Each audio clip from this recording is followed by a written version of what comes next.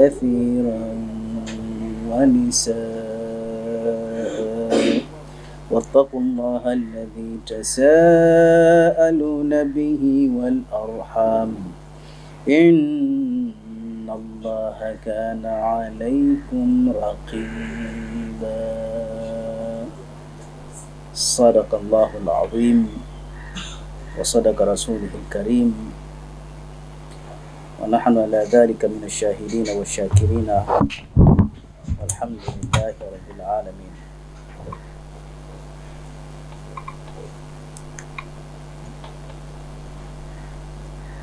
وإن خفتم ألا تقسطوا في اليتامى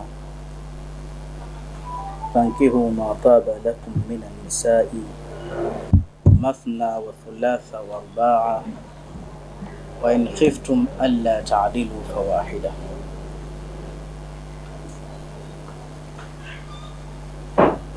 Ama leo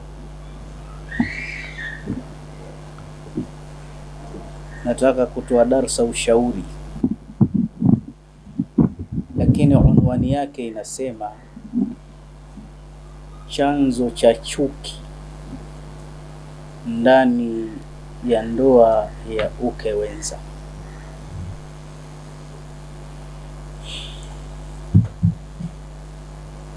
Sisi ni washauri wa jamii, na hii yote ni dini, ad-dinu nasiha. Mtume anasema dini ni kupeana nasaha, ni kunasihiana. Liman, kwa nani ya Rasulullah? Asema lillahi, kuanzia kwake Allah, wali rasulihi walilmuminina wa ammatihim, kwa mtume, waumini na kuendelea, na kwa watu wa kawaida, amatu nas. Lazima watu wapeane nasaha na lazima watu wapeane ushauri na watu watambue ushauri ni amana. Chanzo cha chuki ndani ya ndoa ya ukewenza. Ili jambo la ukewenza ni jambo ambalo dunia nzima, dini moja ya kweli, dini ya Kiislamu ndo imelihalalisha na kuliamrisha. Wala jambo la ukewenza si jambo la falme fulani au la serikali fulani. Hili ni jambo la kiimani, linawahusu watu wa imani, na wale watu ambao si waumini wasituvurugie, watuachie. Na watu hawafai kuliendea jambo hili kama hawana imani za kutosha. Hunaka fi samaa, duniani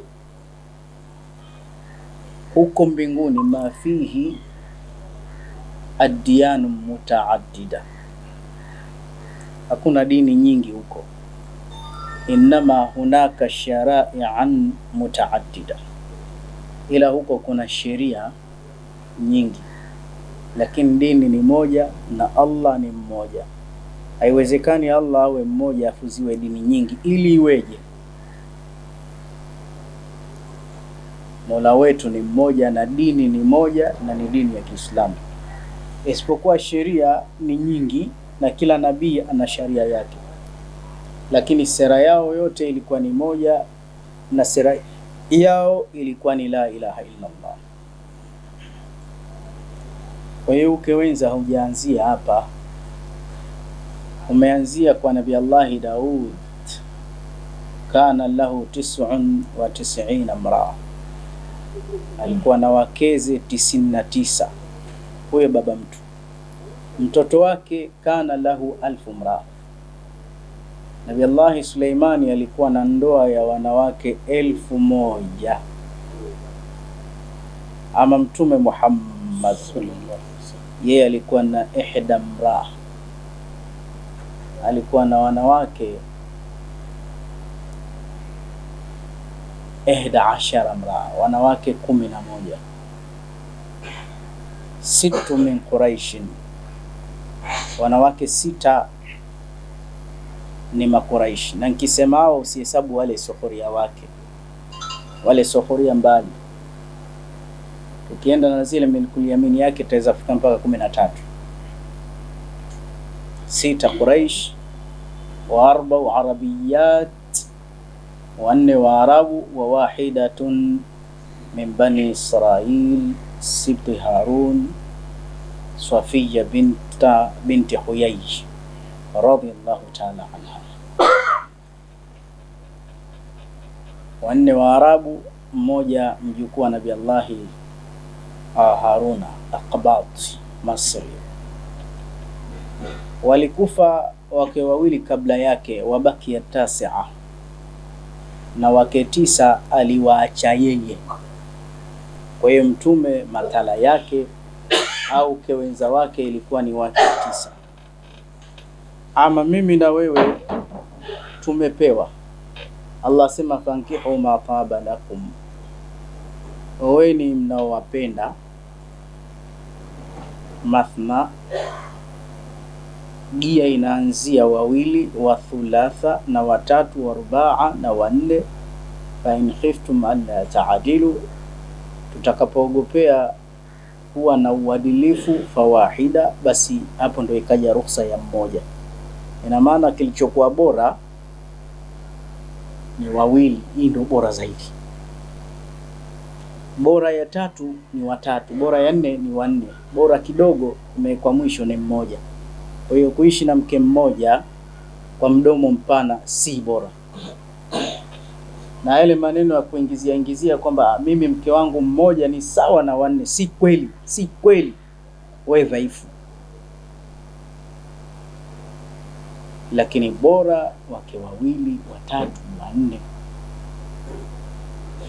Kwa hiyo jambo hili la kuoa ni jambo la halali, ni jambo zuri, lakini kuna mambo mimi nawahusia wanaume wenzangu wajitahidi kukamilisha ndoa ya wake wengi. Natoa nasaha hizi, haki siku zote, qulil haqa wa in kana murra, isemwe kweli hata kama mara nyingine inaumiza.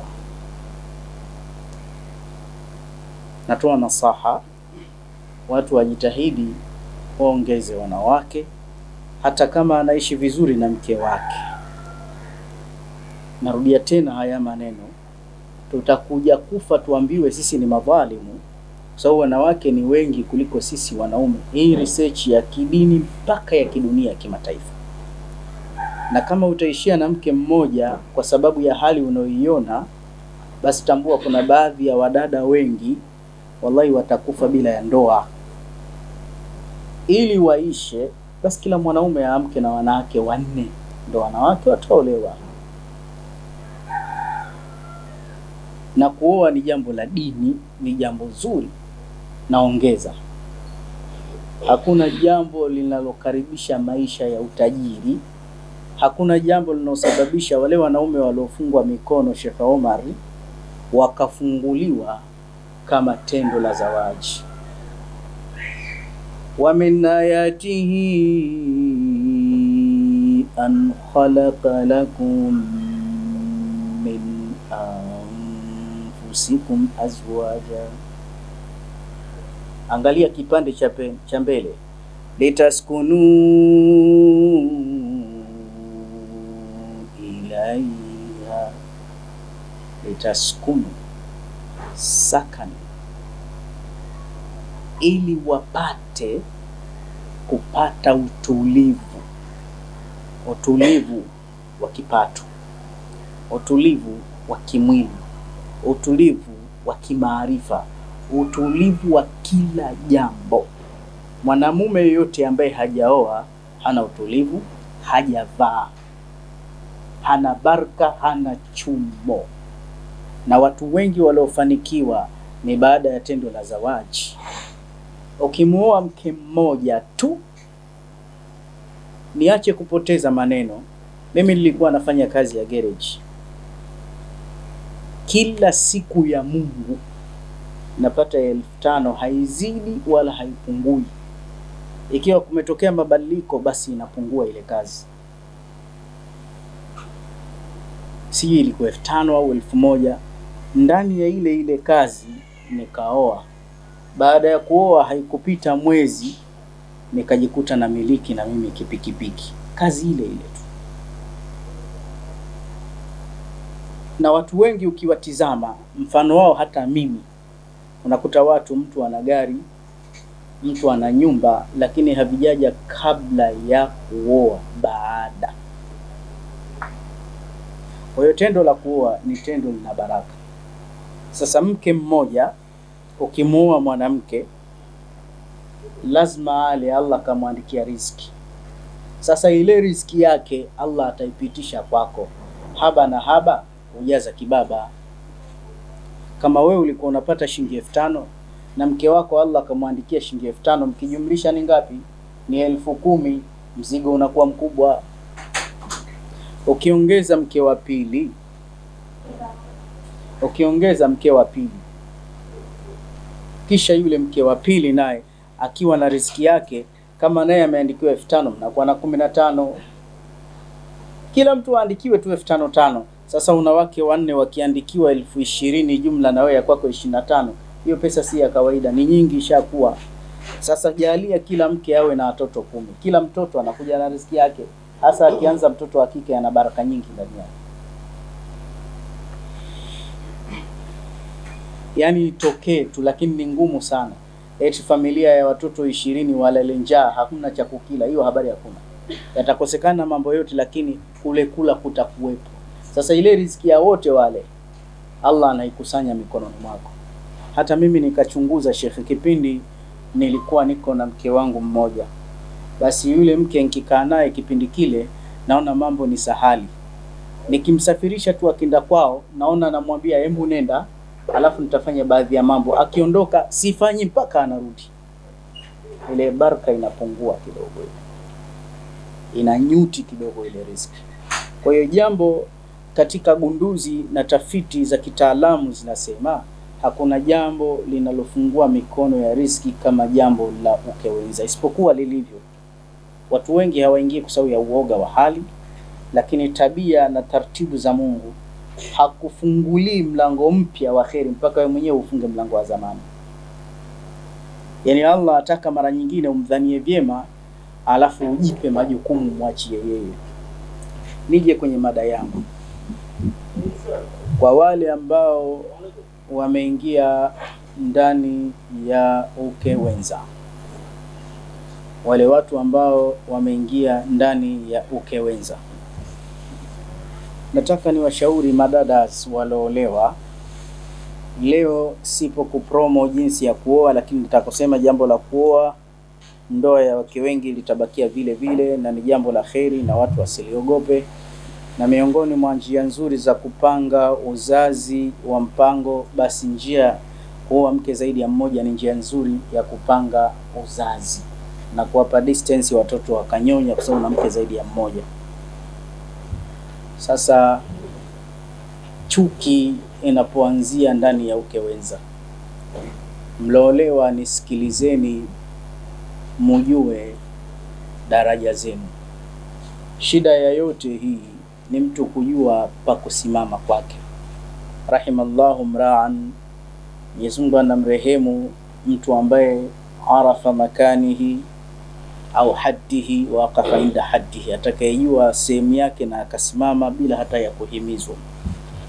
Wanawake wengi wamekuwa tatizo na wamekuwa wanachangia huu kewenza, wanaume kushindwa kwa vitimbi vyao kichwa kisipokuwa mashine cha mwanaume, mwanaume anaelemewa na jambo la ukewenza linaanza kuvuruga.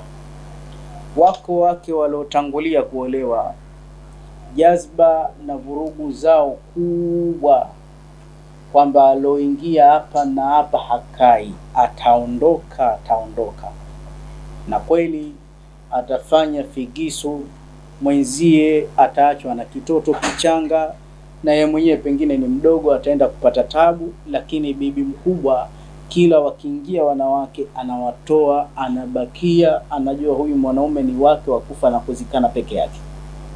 Hilo la kwanza. Lakini pia upande wa pili, wako chipukizi wanaoolewa, anakuja na makucha yote, makucha yote, lengo lake ni kumpiga vita yule mke aliokuwepo mpaka aondoke. Yaani hisia yake anajua ameolewa yeye kwa sababu huyu mume kamchoka mkewe, sasa ataka mke mpya. Anakuja na dhana hiyo, na wakati sivyo.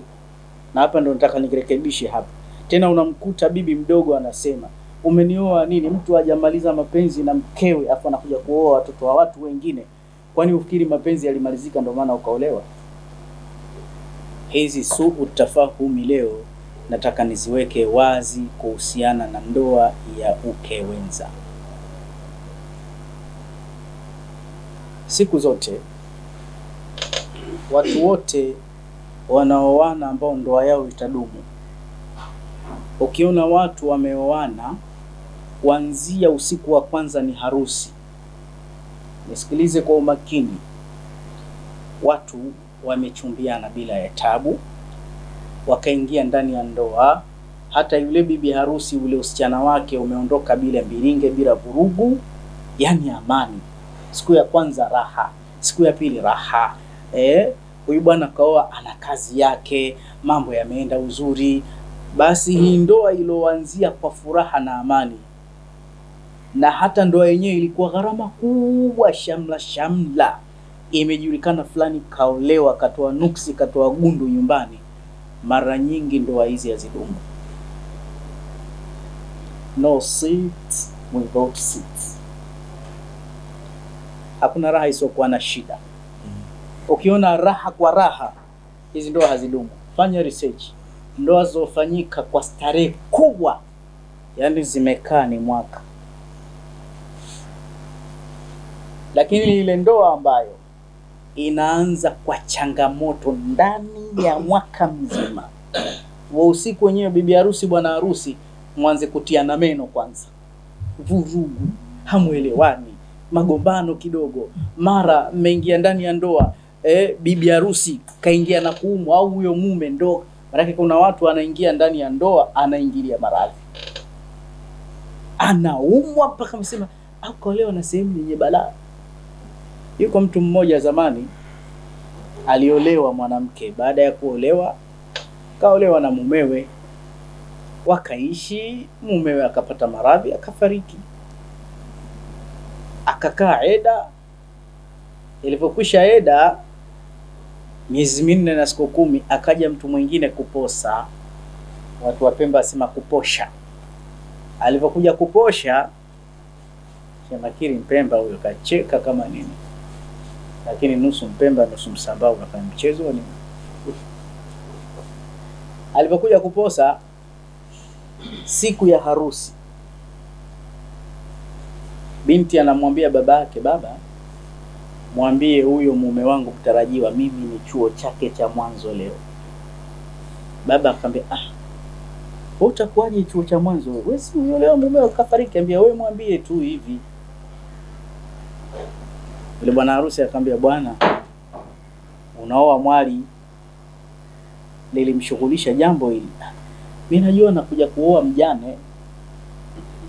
Sasa iweje huyu kafiliwa na mumeo, ameishi miaka tele, tena mwari, lazima likushughulishe. Hmm, kuna ingilika maki, kuna watu hawana afya za kuingiliwa katika process za uchumba. Watu ili waliulize kisa cha kweli, yuko binti aliolewa na mumewe.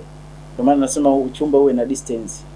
Alivyoolewa na mumewe, kufika yule mumewe akamwingilia mke wake, akafariki. Yule mwanamke alikuwa hana afya ya kuingiliwa kufanya tendo hili. Lazima mambo yaweke wazi. Sasa anaweza kuingiliwa huyu bwana, kufika usiku kamkuta mke wake ni vipi? hmm. Akasema, hebu nieleze ilikuwaje? Ambia, naam, ile siku ya kwanza naolewa na marehemu mme wangu alidondokea maradhi tu, yale mambo hayakufanyika tena mpaka Mungu kachukua kiumbe chake ukaja kuniona. Huyo alikuwa mwanamke mwema, sio uh, Shaddaq. Angekuwa ni Shaddaq mtaa mzima, mimi sijawahi kuonja hayo mambo hayo, na hata mimi zamani niliachaga bahati Anasema bahati ya mwenzio usilalie mlango wazi. Siku miongoni mwa siku, yuko binti mmoja ya Kizanzibar, binti mweupe mzuri, mashallah mashallah mashallah, mm. baida tasuru nadhirin. Eh, lazima umalizie tasuru nadhirin. Mhm. Mm. Ukiangalia unaelewa. Sasa nikamwambia shekhe, mimi nataka binti mwari. Akanambia shekhe, ni rafiki yangu, muoe huyu, muoe huyu mpwa wangu, Kap, tumemwozesha ndugu, hawajawa na maelewano, wagombana kila leo. Basi binti sijui kafanywa nini bwana, akadai talaka, tukamnasimi nataka kuachwa. Basi mwambia basi, kwa sababu ni ndugu yako, mbinamu yako, mwachie talaka. Akamwacha. Akanambia shekhe, toto zuri hili, toto la dada yangu bwana. Oa wewe. Nikamwambia maalimu, mimi nina wivu. Mtu mwenyewe kaachwa na kaka yake bwana. Wakirudi nyumbani huko kila siku nitamwambia angalia na kaka yako bwana. Sasa unajua mtu akianza sasa, shekhe, tutafanya nini? Mstiri basi, akitaka kwenda Pemba utaenda naye. Nikamwambia hicho kibarua sasa bwana akaolewa pahala pengine. Alipoolewa pahala pengine kakutwa bikra ya vipi? Kumbe chanzo cha kudai talaka yule kaka hafanyi kazi. Akasema nilikuwa wapi mie jamani? eh, nilikuwa wapi?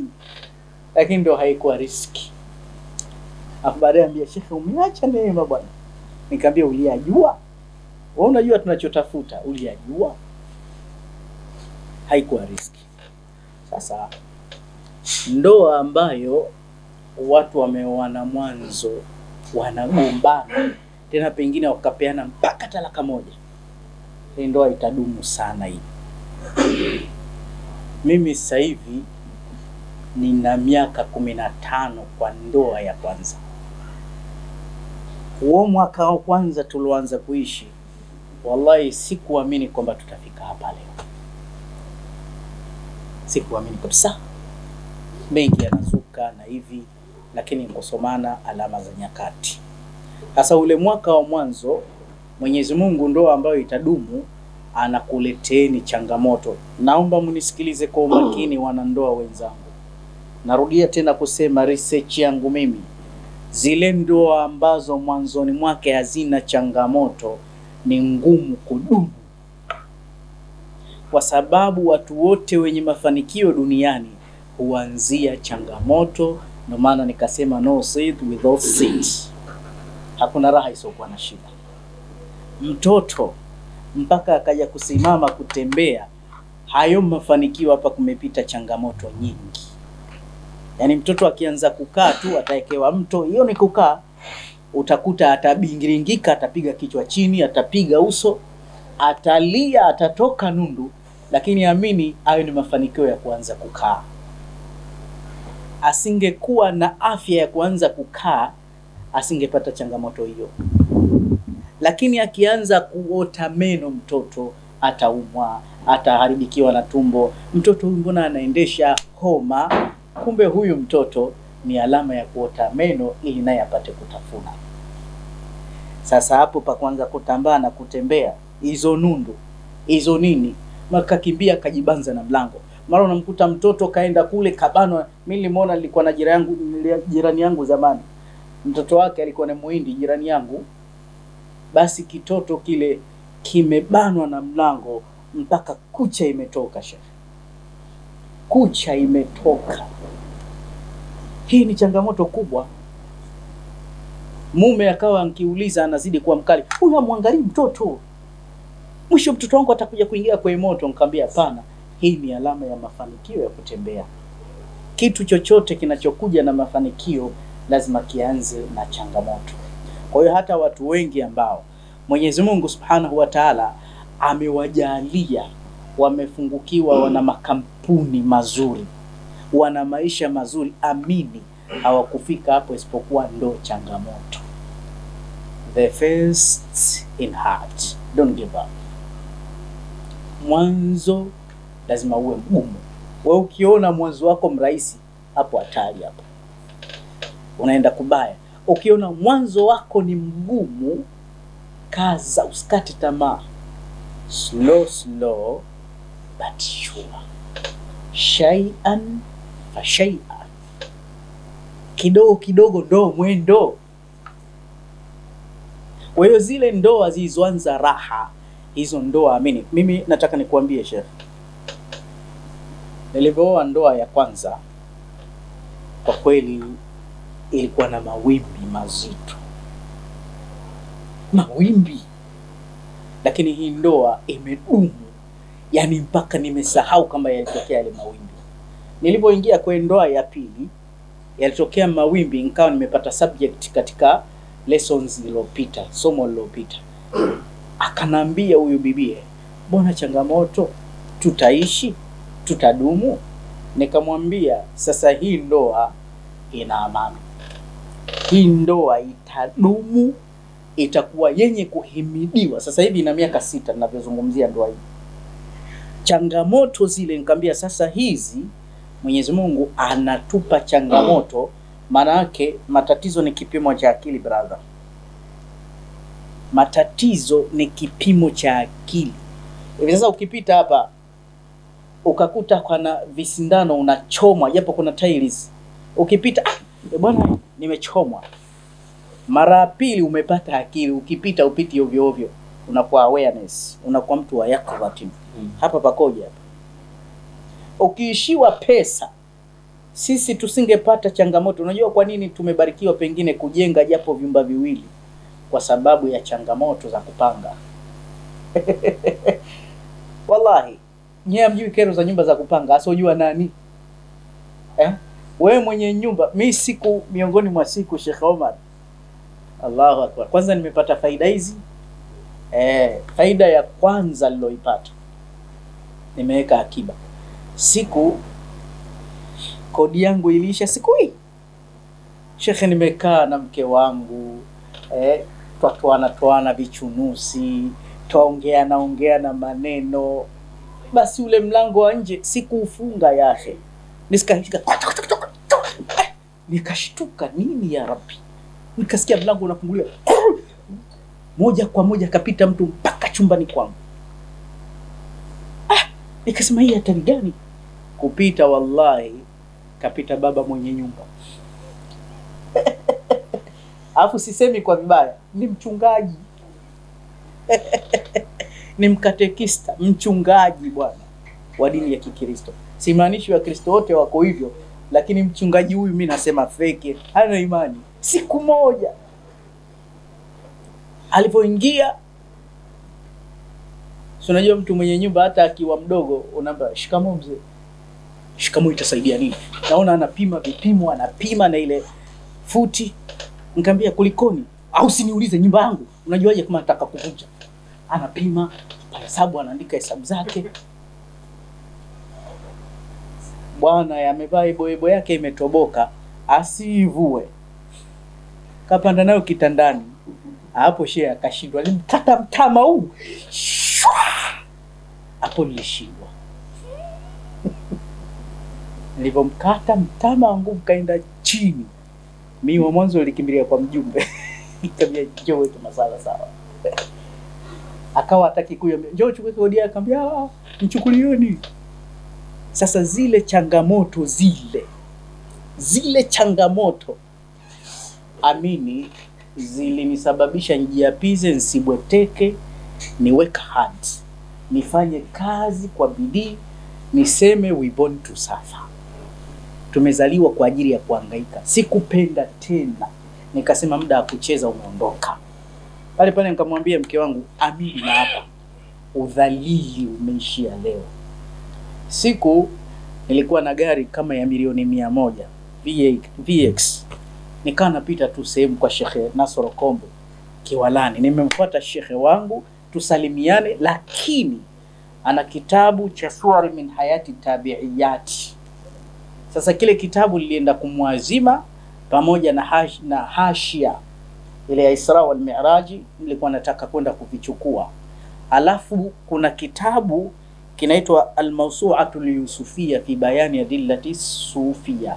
Hichi kilikuwa kwa rafiki yangu aitwa Sheikh Saidi. Nilienda akaniambia vyote utaenda kupata kwa Sheikh Nasorokoa. Wakati nasubiri nashangaa mtu ananigongea wakati mimi nakula kipupwe kwenye dirisha ngongo ngongo ngo kutizama kushusha kioo ni yule mwenye nyumba yangu. Nikamtazama pia bosi bosi ananiambia hivyo bosi bwana hata ukija hutusalimii. Na wakati tunakaribia miaka minne hatujasalimiana hata hutusalimii yake. Unakula vya baridi hapo nyumba yake imedondoka hana nyumba tena akanambia yahe yalopita sindoele, hebu nipe za kahawa nikaambia kwanza ule ule mtama unaukumbuka Nikamwambia ule mtama unaukumbuka?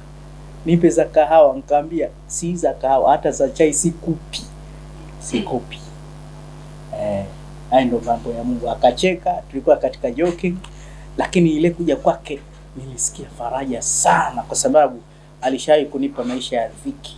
Sasa yule amenisaidia kuniletea yale matatizo, kanipa akili. Kwa hiyo ndoa inaoanza kwa vita, vurugu, yani pale ndo itafahamika mke asimame wapi, mume asimame wapi.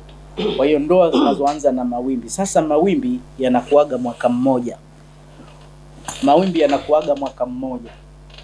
Sasa kwa mfano mimi, ndoa ya kwanza hivi sasa, ondoa ule mwaka wa kwanza, miaka kumi na nne iliyobakia, hii miaka yote Mwenyezi Mungu anakupeni mapenzi hapa, ndo mke wako kila kukicha anakuwa kipande katika maisha yako. Hapa mke wako ndo inafikia stage mpaka unafanana naye, yaani wale watu walioshibana, akionwa haraka haraka na mkewe, ambia huyu ndugu yako, kumbe ni mke wake. Hapa ndo watu wanafikia wakishibana, hata wakifa, amini, huwa mara nyingi wanakufa muda mmoja utakuta mzee babu kafa juzi, bibi naye anafuata. Hapa unakuta ile roho ya mapenzi. Sasa haya mapenzi yamejengeka kwa muda mrefu sana. Haya mapenzi yamejengeka kiasi ambacho ni vigumu kuyatingisha haya mapenzi, labda utumie ushirikina, tena ushirikina wa hali ya juu, na Mwenyezi Mungu ushirikina huu aukubalie, lakini ni mapenzi hayumbishwi na fitna yoyote. Na yeyote atakaye kuona unataka kujeruhi kile anachokipenda hawezi kukupenda abadan. Sasa wadada ambao anaolewa karibuni, anamkuta bi mkubwa akishaingia ndani ya ndoa, wanachokifanya wao, analeta changamoto na kujionyesha yeye ni bora, na mara nyingine zinaanza changamoto ndani ya uchumba, zinaanza changamoto ndani ya uchumba katika ule uchumba anaanza kumwataki alomkuta, yaani adui yake mapema ni yule mke wako. Anazungumza ubaya wake, anazungumza udhaifu wake, atamzushia aibu. Huyo mke uliomuoa huyo ana nini? Si alishaolewa mara kumi huyo, ndo kisha ndo hivi, si ashafanywa kadha. Kila siku anatoa aibu za huyu mke wako aliotangulia, pengine ndo bii mdogo. Ukimwambia nisikilize, mimi mpaka nakuja kukuoa wewe, sina ugomvi na mke wangu na ninampenda sana, isipokuwa mambo hayakamiliki, hana udhaifu, matamanio yangu tu. Yaani mimi kilichonisababisha nije hapa ni kustarehesha mwili wangu, si vinginevyo vyovyote. Sijakosa watoto, sijakosa utulivu, ila mimi sitaki uzinifu. Kwa hiyo nataka kukuoa. Kwa hiyo hata ujitutumue vipi, bi mdogo, huwezi kuwa mke wa kwanza. Wewe utabakia kuwa mke wa pili, au utabakia kuwa mke wa tatu, au utabakia kuwa mke wa nne. Sasa huyu mwanamke, chanzo cha chuki kwa mume, maanake nikwambieni, wanawake wanazalisha chuki kwa waume zao, mpaka mwanaume anamchukia mke kuliko maelezo. Sababu ni hii, wewe ukiona kuna mtu umempenda, yaani mfano mathalan, mimi nampenda mamangu mzazi, mapenzi fauka alqiyasi, hakuna mjadala. alafu wewe utakakuja kushare labda biashara fulani na mimi tuungane. Sasa wewe, mimi nampenda yule mamangu kweli, wewe ni mtu muhimu kwangu, kuna kitu tutakatufanye, lakini nakugundua wewe una chuki na mamangu. Nafikiri naweza nikakupenda hata kwa dharura, kwa sababu kwanza siwezi kukupenda, umeelewa sawa, na unachokifanya siwezi kukiridhia. Ili sasa ufanye muamala na mimi, embu onesha hata kwa kuigiza kwamba unamheshimu mamangu, unamkubali mamangu, unampenda mamangu. Ukionyesha kumpenda mamangu, automatically na mimi nitakupa thamani, na mimi nitakupa thamani. Sasa kosa la wanandoa wanapozalishia chuki hapa, unakuta mke wa pili chuki yake kubwa, adui yake mkubwa ni mke wa kwanza. Apendi apewe thamani yake, tena hukuambia mimi sijaolewa na mke wako. Kila saa mpe heshima mwenzio, kila saa ana nini, ana kipi, haingii kwangu hata hivi. Ni yule naye ni mke, utambue unajeruhi kitu ambacho kishaingia ndani ya mume wako. Sasa hivi ukiongea mabaya kuhusiana na yule mumeo, kuhusiana na mke wake, elewa unachokivuna wewe ni chuki, anajua unamharibia unachokipenda.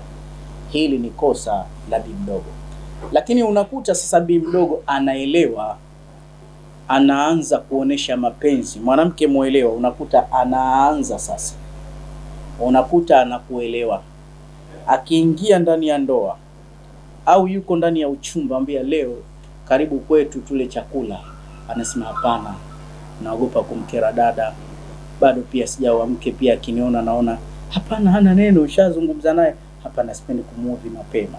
Unamuoa bi mdogo kwa wema wake, unakuta watu wote wanakuja kumuona bi mdogo, lakini yule mke mkubwa haji, bwana, sijui kakasirika yeye hataki vibaya, muelewa. Mwache kwanza, ili jambo zito, atakuja inshallah. Unakuta yeye na uharusi wake anatafuta zawadi apelekewe nani? Bi mkubwa. Mwisho unamkuta yule bi mkubwa tu nafsi yake imeanza kufunguka, unakuta anamletea mwenzie matenge, anamletea kanga na nini na nini. Yule naye akikana na huyu mume angalau kwa zile siku za mwanzo, bwana, usikae sana leo, sio siku yako, nenda bwana nenda tamuudhi, atakasirika. Umeona wema, lakini mshari unawainini. Miaka yote hujamzoea tu, kaa hapa na kuambia. Tena, mi nauma, usiondoke. Umeona shari hii, mke ambaye amekubali kuvumilia, uingie ustirike, amekubali halafu unamfanyia jambo kama hii. Sasa unamkuta mke huyu mdogo anaanza kuelewa, anaweka heshima tena inakwenda mapenzi mpaka wanashikana mpaka wanavaa sare. Tena siku ya kuolewa anaweza akasema naomba tuvalishwe sare, kisha pengine huyo mtu akaongeza mke wa tatu. Yule mke wa tatu adui yake mkubwa anaweza akawa namba mbili. Umeona vituko vya wanawake hivi, hafikirii kumbe yule namba mbili pengine wakati anaolewa mume alimhuri kwa maneno. Mke namba mbili unakuta anasema mme wangu, eh, unasemaje? Ukinioa mimi hutaongeza, kwa sababu mimi mwenyewe ukewenza siwezi, ni jambo la dini, lakini nilivyokupenda natahamal kukuta kukuta uko na mke, lakini mimi nilikuwa nataka niwe mwanamke wa peke yangu. Hiyo yenyewe jihadi kubwa, ili la ukewenza ili lakini hutaongeza mwingine. Naambia wewe ndo wa mwisho. Wewe mwenzio unshaishi naye miaka ishirini, ufikiri na uzee uloupata tena, yani wewe ndo funga dimba.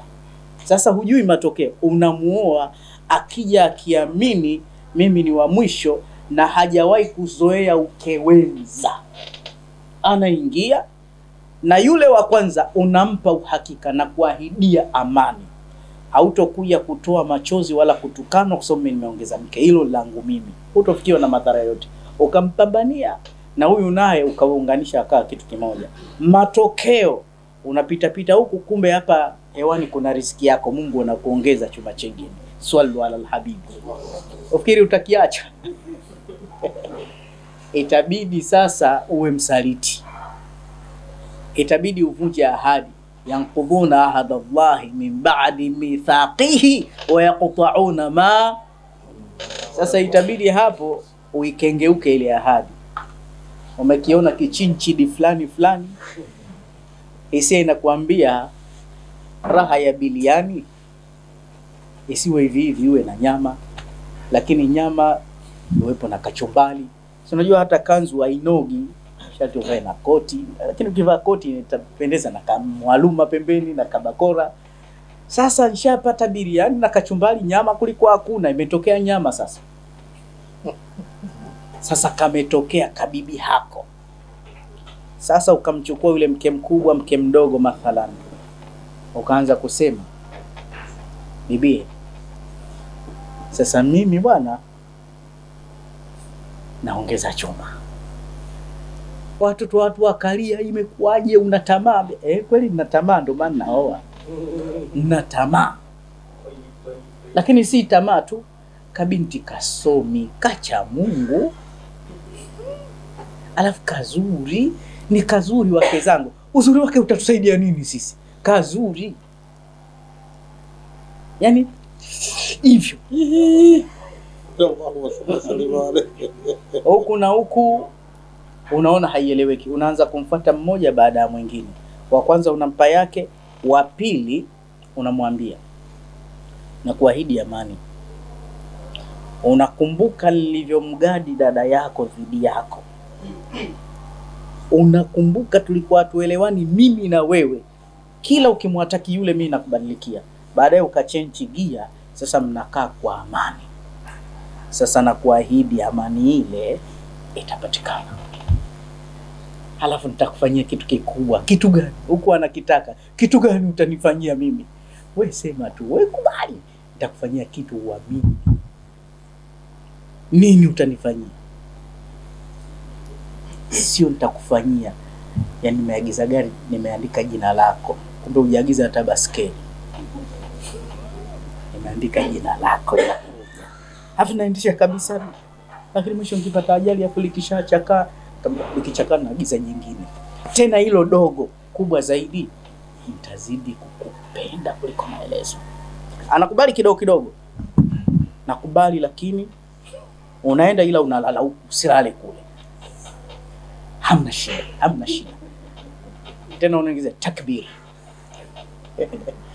mwisho wa siku unamweleza huyu bwana, vita vikubwa, vita labda mi nifanye nini, kamtake radhi, nikafanye nini? Bia taratibu, tuombe Mungu, wacha tufanye istikhara. Mwisho kabisa lako heshima, heshima juu yao.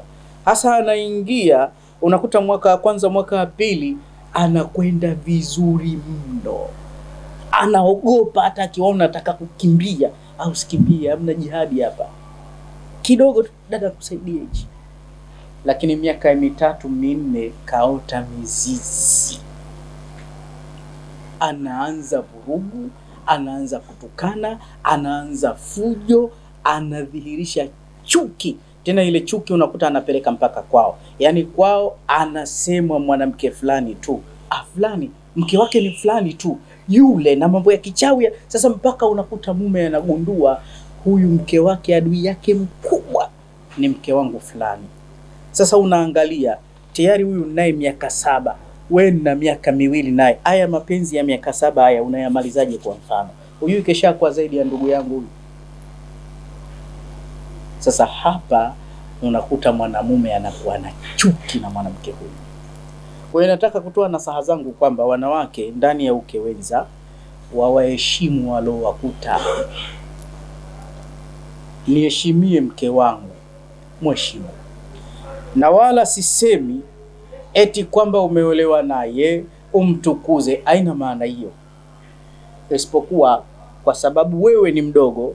Mdogo ni mdogo tu, alotangulia keshatangulia, hata kama ni mdogo kiumri. Hmm. Lakini inapotokea problem, makwaruzano ya bahati mbaya ni wajibu wako kumtaka radhi, kwa sababu si ndio umemkuta na mume wake. Mimi nimtake radhi huyu huyu, labda nime huyu ana nini hasa? Useme ana mume kabla yako. ana mume kabla yako, mpe heshima, kwa sababu ukionyesha ile nidhamu inatokea mkwaruzano, alafu ukaonyesha wazi wazi ile nidhamu.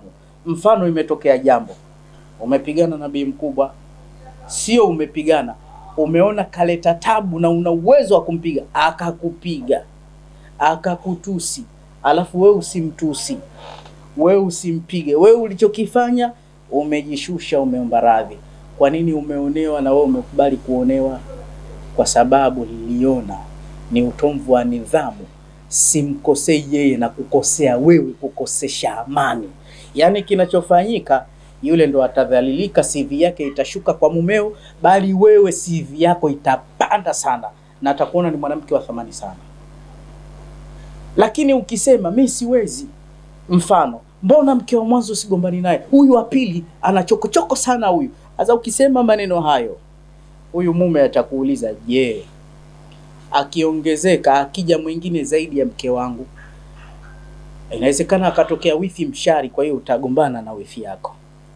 Inawezekana mamangu ni mtata, utagombana na mamangu. Kwa hiyo wewe ni mwanamke ambaye huwezi kuepusha shari. Sasa mume unakuta anakutolea macho, anakuambia fikiri mara mbili, huna sifa ya kujishusha. Anakupigia mstari, ambia wewe una kajisifa ka kiburi. Hako ka kiburi unako, ungekaondosha hako ka kiburi. Hii ndio CV ya wanawake. Sasa kale ka kiburi hakaondoki. Hata mume anaweza akaja kumkanya mkewe, yule ni dadako, lakini ndo nimwombe msamaha mimi, namwogopa. Ah, sikiliza ungejishusha ilikuwa inakufaa ujishushe. Wewe ungejishusha, siwezi, siwezi, siwezi.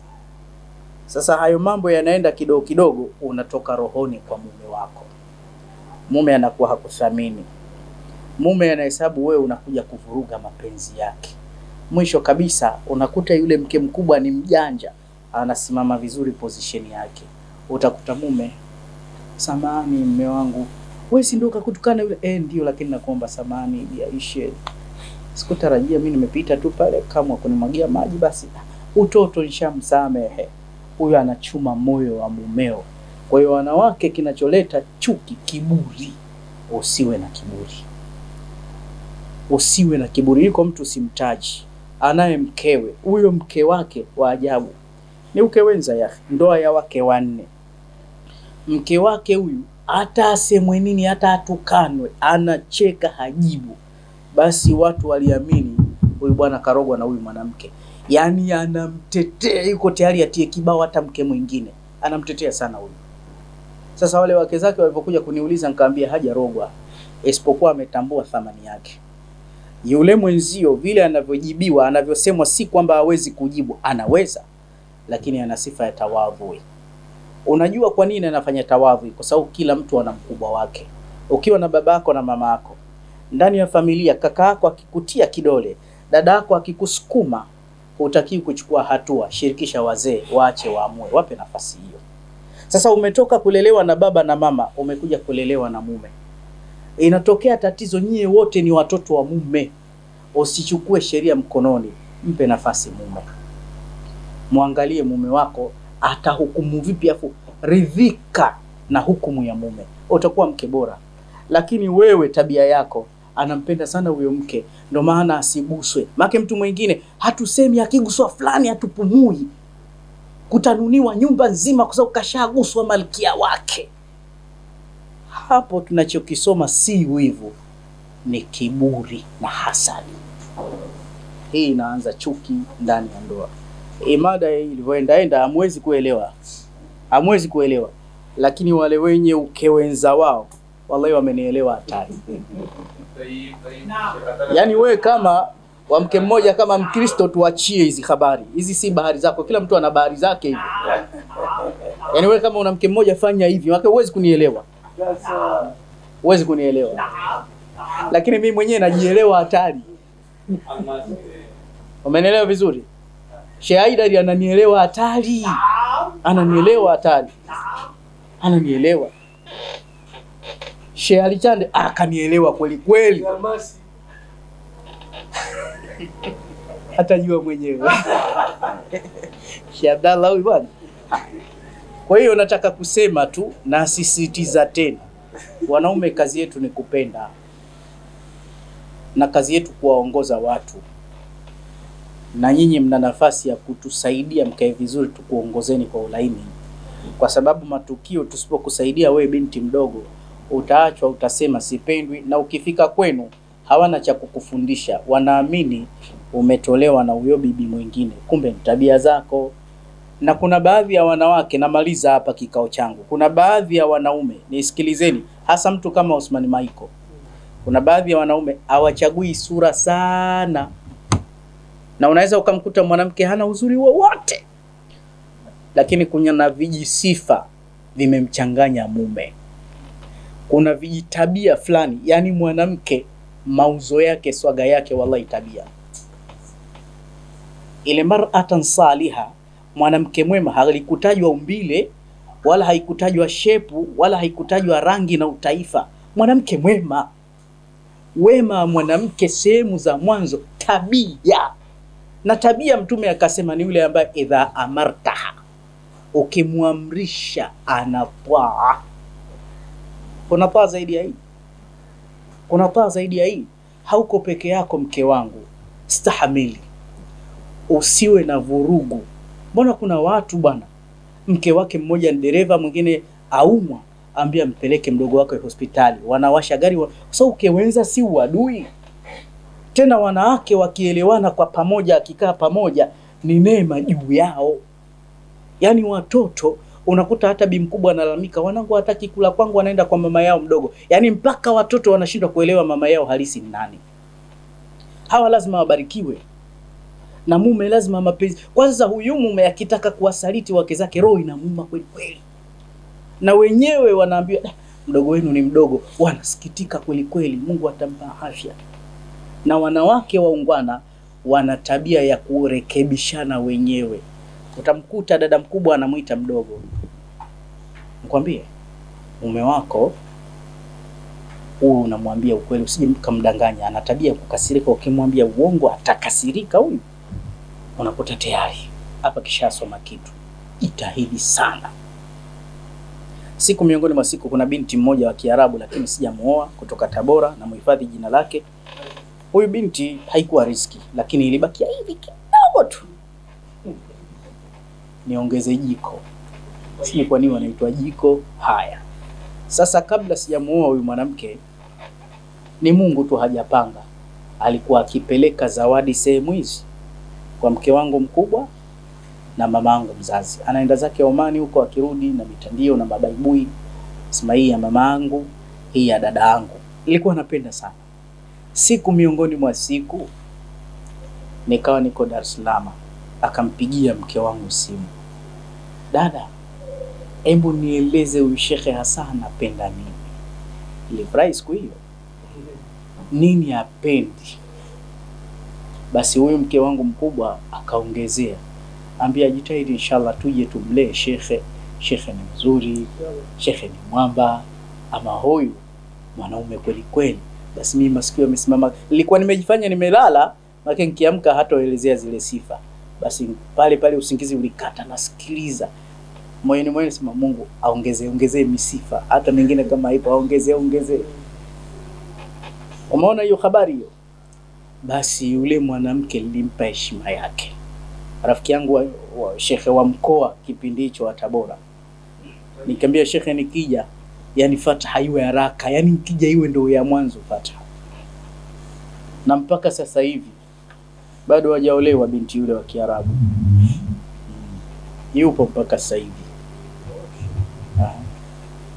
Na hata sijui kwa nini mpaka sasa hivi hatujaoana. Hapo katikati kuna siri kubwa. Kuna siri kubwa baina yetu, lakini walillahi alhamdu, alikuwa ni mtu, na ninavyosema, nyumba hii tunaofanya rekodi, kaja akanitembelea hapa, hamu yake kubwa aonane na mke wangu mkubwa. Alitengeneza naye urafiki mkubwa mno, na akaja akampa zawadi, na mpaka sasa hivi salamu haigombi, tunasalimiana, tunasalimiana. Acha tu nikumalizie, ishu ni mambo ya istikhara bwana. Eh, mambo ya istikhara. Mwenyezi Mungu ana hekima, haonekani. Angeonekana watu wangemlalamikia kwa mengi. Miongoni mwao ungemwambia Mungu, hebu rekebisha hili bwana, lipite hili. Hiyo tu, hiyo tu, hiyo tu. Ilikuwa habari zake nzito, lakini nilikuwa naamini mke yule alikuwa na maelewano mazuri na huyo ahli yangu, hakukuwa na vita kiasi hicho. Kwa hiyo nitakayekuwa nasihi tu mabinti kwamba jamanini, ye mlo wa heshimu, kauli yangu mbiu, mlo wa kuta, jitahidini sana kuwapa heshima zao, lakini na nyie wakubwa msiteke advantage, kwa sababu nyie mmetangulia. Ni haki yenu kuwahurumia na hawa wadogo. Wewe mkubwa, pigania mumeo aendelee kumpenda mke wake na watoto, lakini na wewe mkubwa, pigania huyu mdogo naye asiachwe. Na wewe mdogo, kuwa na nidhamu, kuwa na heshima. Mkiwa na tabia hiyo, wewe wa kwanza uheshimiwe na wapili, wapili amheshimu watatu, watatu wamheshimu, hivyo mpaka wake wanne wote, mtaona kila siku zenu zote ni za furaha na mume atagawa zamu kwa uadilifu. Mimi zamani za kale nilikuwa nakwenda zangu Tanga. Wakati nakwenda Tanga, hapo nimeinunua kijigari changu cha mwanzo Toyota Lexus.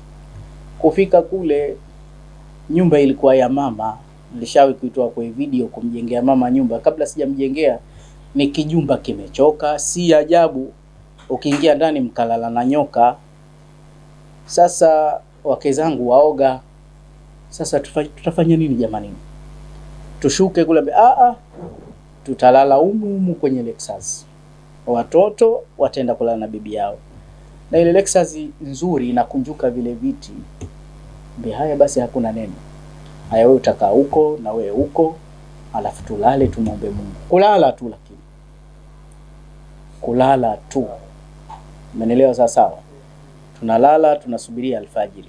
Inafika alfajiri, mmoja atakayeamka eh, jamani, swala itatupita. Na mi huwa mara nyingi napenda kusimama usiku, saa kule baridi, naona mmoja ananiamsha, wewe Sheikh, utaweza kuswali na baridi? Nikamwambia hichi kiamu laili na sali humu humu kwa gari kwa hii baridi japo rakaa mbili. Nikamsikia mwingine, basi kama inafaa na mimi nitasali. Nikamsikia watatu, jamani, tuswalini humu humu. Kuna raha zaidi ya hiyo? Enzi hizo kwa baraka ya maelewano, tulikuwa tuna nyumba yetu huko Kiwalani huko, kila siku inasubiriwa, itadondoka leo, ita, itakuwa leo, chini huku inavuja maji. Wallahi ndugu zangu, tuelewane, yaani haukupita mwaka. Haukupita mwaka au miaka miwili, kwa sababu ile ya upendo, miaka nenda miaka rudi. Marake naomba nifunge maneno, marake muda sasa ushaisha. Niseme kitu kimoja, zamani nilikuwa maskini sana, lakini baada ya tendo la kuoa kwa taratibu, ule umaskini ukaisha. Si maneno yangu mimi, mke wangu akasema, ikiwa Mwenyezi Mungu kakufungulia baada ya kunioa mimi, wallahi ukiongeza mke wa pili tutakuwa na nyumba yetu. Wallahi ikasema haya maneno. Alivyokuja kweli bibie huyo wa pili, ile kuja kwake, naona mchezo nini? Zile baraka, wanawake wana mchango mkubwa kufungua maisha. Ijumaa kadhaa iliyopita lilisema maudhi na mauskini haviendi sawa. Zile laana laana za wanawake zinakupata mume kufungwa mikono. Yani nilivyomuoa bibi wa pili, sio aibu. Ndo mara ya kwanza Sheikh Osman kupanda ndege, Yani kwa si maskini, hilo jambo kubwa hilo. Ye Sheikh Omar kama kashapanda ndege mara alfu kwenda Maka, shauri yake, lakini kwa sisi maskini, na sisemi hivi, kuna kuna, kuna wenzangu hapa hatujapanda ndege bado. Jamaa, kweli si kweli? Na pengine tusipande mpaka tufe, au vipi? Sheikh Omar, Sheikh Omar sikiliza bwana kuna rafiki yetu kipenzi, shekhe letu, mwalimu wetu anaitwa Shekhe Songoro, ni mujahid kabiri. Tumefanya naye harakati ya kidini, mi ashawahi kuwa amiri wangu. yani siku ya mwisho kupanda ndege, yaani kafia kwe ndege siku hiyo, Allah. kaumwa sana, yuko fi sabilillah, yuko hali yake ipokuwa tabani hapa, tayari ndege zinaruka mikoani, sijui ninachengwea, yani ndo kapewa kwe pipa, yani alipokaa kwe city tu pale pale ndo ndo, ndo kafa, yani kapata raha kidogo tu. Yani kama kana kwamba Israeli kaambia ione kwanza ndege yenyewe ndio mm. japo naye kajitahidi. Umeelewa vizuri? Sasa shekhe alipoongeza mke wa pili kapanda ndege bwana. Wewe unaona jambo dogo hili? Kahama kiwalani kahama wapi? Kiwalani. Yale masikilizano. Unaachaje kufanikiwa? Mimi mpaka nishazoea kila nikitoka naenda kibaruani kwangu. Mpaka ule uradi. Namuuliza kama nimelala kwa mdogo kama nimelala hivyo. Namwambia vipi mbona usemi unajua kusema nini? Allah akufungulie. Yani akishasema hilo basi naridhika. Sasa kama kuna kisirani makisirani atakuombea dua kama hizo. Sasa ile inshallah bana li eh, allah akufungulie mbia alhamdulillah. Alafu wanasema ili ututunze wake zako. Angalia haya maneno haya. Ututunze wake zako. Kwa hiyo nataka kusema wanawake ndo wadau wa kwanza wa furaha. Na wao ndo wanaipoteza furaha. Wapendane wavumiliane. Na kila mmoja lazima awe mnyonge wa mwenzio. so unaona ukubwa lilokuwa nao huu eh, na ualimu lilokuwa nao. Lakini mara nyingine pengine akanikemea mama sasa na uwezo ilikuwa nimrudishie lakini ndio kishatangulizwa na mungu itabidi nyamaze tu amalize hisia zake anazozitaka. Hivi ndio mungu anavyotaka. Kwa hiyo aliotangulia kishatangulia mdogo akiwa ametatizana ni vizuri kumpa ile haki yake. Yaani mwanamke yeyote hafai kuwa na kiburi. Si mdogo si mkubwa. Kiburi wakiache.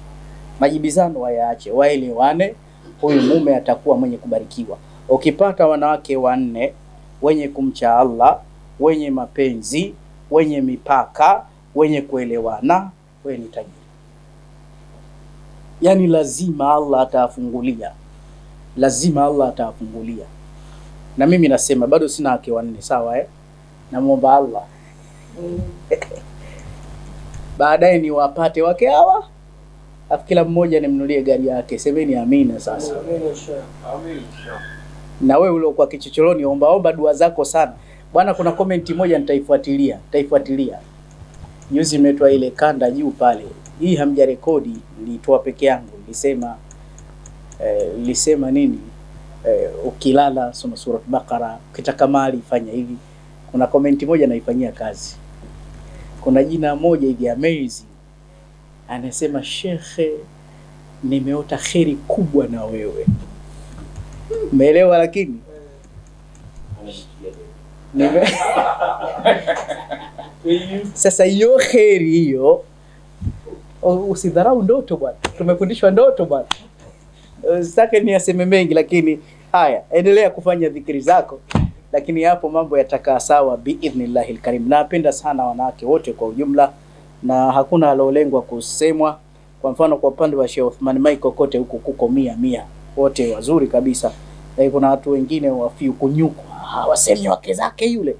Hapa amani kweli kweli. Na ili mjue leo amani basi leo tukitoka hapa tutakula chakula cha wake wote. Sasa leo mpunga tutakaula leo. Kama ni mtamu hiyo kumeeleweka. Mkiona huko ovyo ovyo mtasema hiyo hutuba kaapani awali. Bifadhillah. Ah sijamaliza bwana sijamaliza. La mwisho bwana. La mwisho kifua. Dawa ya kifua. Tamu sana hii hii swadiria hii. Anakohoa huyo. kwa makari hii inafaa sana. Kwa makari hii inafaa sana. Hii dawa usiikose kwa sababu inasaidia kifua inalainisha choo chako lakini inasaidia memory kuhifadhi. Dawa ya pili si ya aibu. Yule mtu ambaye nafsi yake inatokwa na uchafu mwanamke hii dawa inaitwa mastura hii aitumie itamsaidia sana. Dawa ya nne si aibu. Kikwapa kinachotoa harufu dawa inaitwa araka yenyewe inanukia na ni nzuri. Watu hukimbiwa kwa sababu ya jasho mbaya. Usikubali. Waweza ukamwekea mtu mkono kwa daladala akazimia. Kwa sababu ya hiyo hali. Sasa acha mauaji. Kuepusha mauaji tunayo dawa hii. La mwisho kuna dawa inaitwa jildia kwa wale watu ambao wana mba annashurun watu ambao wana machunusi yasiosikia dawa lakini watu ambao wana mabaka mabaka usoni. Sheomar ile dawa yako iko wapi? Dawa ya mwisho imekuja hapa. Hii dawa inafanana na hii lakini sio hii dawa wakati tunatoka msikitini, mada tulizungumzia subira, na Sheikh Omar akapatwa na mtihani ambao nao itakiwa ile ile mada ianzie pale wa subira, akawa amebanwa na mlango kidogo vidole vyake, nikamwambia apake hii dawa hii. Wewe niko vizuri sasa. Ah, naona anakikunja kidole. Sheikh Omar alikuwa hivi kasoro mtu mzima, lakini ilikuwa alie, maumivu yalikuwa makali sana. Hii dawa nzuri, ukiumwa na kichwa paka, ukiumwa na mafua paka, ukiumwa na mgongo paka, ukiwa umejibamiza sehemu paka. Ni dawa nzuri sana ya misuli. Sheikh Abdallah anaijua hii, kipikwaga machozi hapa hatari, wote hapa machozi. Kwa hiyo hizi dawa zetu ngapi hizi? Nne, usikose dawa ya misuli, dawa ya ngozi, dawa ya nini eh? Tano, dawa zetu tano hizi usizikose. Lakini la mwisho la kuto kukosa, usikose visomo hapa kwa Sheikh Othman. Jamanini, tunaomba dua. Hichi ni kituo cha dua, kina siku nyingi tena kinaendelea, na kila wiki natangaza tena usiku wa Jumatano na usiku wa Jumapili tuna dua zetu za kukesha hata makanisani wanakesha. Kwa nini sisi tusikeshe kwa ajili ya Allah? Dua za usiku ni dua ambazo zina pawa sana. Ukija usiku, kama umeruhusiwa kuja, hakuna gharama yoyote. Gharama yako ni machozi yako na kutelekeza usingizi wako, lakini faida utakayoupata Mwenyezi Mungu atakufungulia. Dua za usiku anaomba Sheikh Othmani mwenyewe. Hizi dua za usiku, tunao maduati wakubwa, tunao mashekhe wakubwa ambao wenyewe wanakiri na wanazitaja. Baada ya mitihani kutokea, wamekuja tumekesha nao, wamelia na Mungu kawasahilishia mpaka sasa hivi. Mungu kazidi kuwapa umaarufu zaidi, lakini kila wakitembelea mkoa wa Dar es Salaam lazima waje kuripoti dua hii. Kisimamo cha usiku tunakesha na mawaziri, tunakesha na wabunge, tunakesha na ulamaa. Mimi na wewe Mbwigile Mbwigile, pangu pakavutia mchuzi. Kwa nini usije tukamlilia Allah? Watu wakubwa kama hao bwana, watu wenye martaba na daraja zao wanakuja kulia, wewe uvivu tu ulale hivi hivi na hauna kitu. Basi hapa nataka nikuambie watu wanaokuja kukesha, mtu kaweka viete ya milioni mia nne pengine hata huyo Sheikh Othmani mwenyewe hana, wanakuja kukesha. Watu wana masnaati, makampuni wanakuja kukesha hapa kumlilia Allah. Kwa hiyo watu wapo keshi keshi, hakuna mjadala. Na wewe tengeneza programu hiyo. La mwisho la kukutia huzuni, watu wanatoka mbali, mtu anatoka Saudi Arabia mtu anatoka Marekani, mtu anatoka Uingereza, anakuja kukesha. Amini anakuja kukesha, mzee amezeeka. Amini mgonjwa yuko hoi taabani, anakuja kukesha. Wewe uko mzima, kijana mdogo, kwa nini usije kujoini pamoja na sisi? Na usituambie nyumbani unakesha, ukeshi, unalala bro. Na hata kama unakesha, yadullahi ma'al jamaa, mkono wa Mungu uko pamoja na wengi. Tuna madeni, tuna matatizo. Mimi nakulingania kitu cha kheri anakuja mtu mwenye pesa zake hatozwi hata shilingi kumi. Wewe huna chochote, utozwi cha nini? Si tunataka tu upate idea. Neno la mwisho, alikuja uh, ustadhi mmoja alipokuja akasema, shekhe, Allah akulipe. Nikamwambia nilipe kwa kipi? Akasema kwa sababu hizi ibada za usiku hivi unavyoziendesha wewe unawafundisha watu kwamba wawe wanasimama hivi. Kwa hiyo nakuambia nikiondoka hapa mimi naenda kukesha kama hivi. Ni kweli, hakuna kitu cha siri, hakuna dua shekhe anayesoma kwa siri. Hata vijana wangu wote wanajua kuiongoza dua. Tumeweka utaratibu, zile adhkari tunazotajiana, zile dua tunazotajiana, ikitoka hii naingia hii, ikitoka sala hii naingia hii, tunasoma kitabu hichi, tunafanya hiki, tunaitikia hivi, tunafanya hivi, ya kupite kwa usingizi wako. Tunaanza saa saba juu ya alama, Allahu akbar, Allahu akbar, alfajiri, tushamaliza mkataba wetu na Allah. Asubuhi chinjo letu kama kawaida. Baada ya kuchinja, hatuna tunachosubiri, tunasubiri majibu.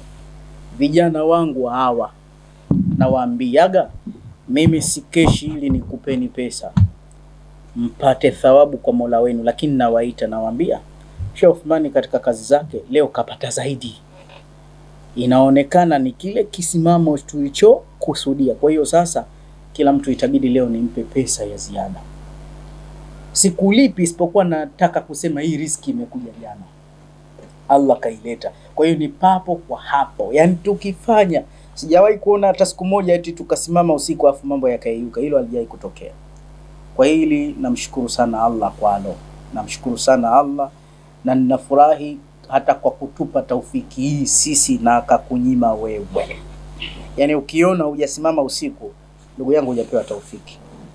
Mpagazi mmoja alolia mpaka jicho lake moja likapofuka kwa hamu na mapenzi na shauku ya Allah, akasemekana ni kichaa. Tajiri mmoja akamnunua pale Maka, akamweka ndani amfanyie kazi. Akamuona huyu mpagazi usiku amesimama anasali katika dua zake akasema, ya Rabbi, nakushukuru kwa namna unavyonipenda mimi. Yule bosi akamkemea akamwambia, wewe unafanya makosa kuomba, unajuaje Mungu anakupenda? Sema kwa namna unavyompenda wewe. Yani bosi yeye yupo kitandani anamkemea mpagazi, akamwambia la, ananipenda. Asingenipenda asingenipa taufiki ya kusimama usiku na akakunyima wewe na mali zako umelala. Kwa hiyo mapenzi ya Allah yapo pamoja na mtu kuafikiwa, na nsiseme tu kwamba huji huji. Najua unatamani uje, najua unatamani ufanikiwe, lakini kwa nini huji? Hata zamani wakati sisi tunatakiwa twende fi sabilillahi, kwa sababu Mwenyezi Mungu akikutizama kwa jicho la rehma mara sabini ndio utakwenda sabilillah, jambo kubwa.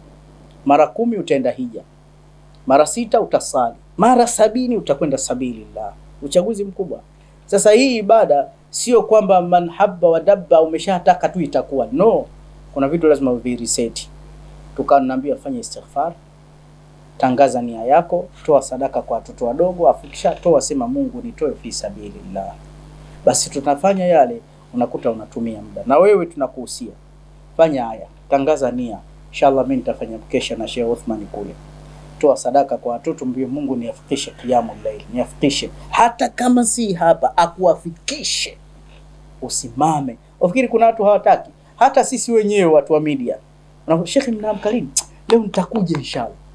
Yani ndo haji kila siku nia tu, nitakuja habibi, habibi, leo nitakuja tena. Unakuta ule usiku anakupiga Sheikh, vipi, si leo ile jambo letu lipo? Ngambia kama kawaida, inshallah mniwe, mniweke. Una haja ya kuwekwa, wewe njoo tu. Aya, ananipigia saa mbili usiku, ah, habibi vipi? Ah, hata swala alfajiri imenipita bwana, nimepitiwa bwana, nimepitiwa bwana. Haji taufiki bwana. Bifadlillah subhana rabbika rabbil izzati amma yasifun wa salamun alal mursalin walhamdulillahi rabbil alamin.